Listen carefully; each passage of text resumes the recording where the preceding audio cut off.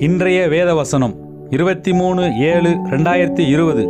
ஜீவனுக்கு போகிற வாசல் இடுக்கமும் வழி நெருக்கமுமா இருக்கிறது அதை கண்டுபிடிக்கிறவர்கள் சிலர்.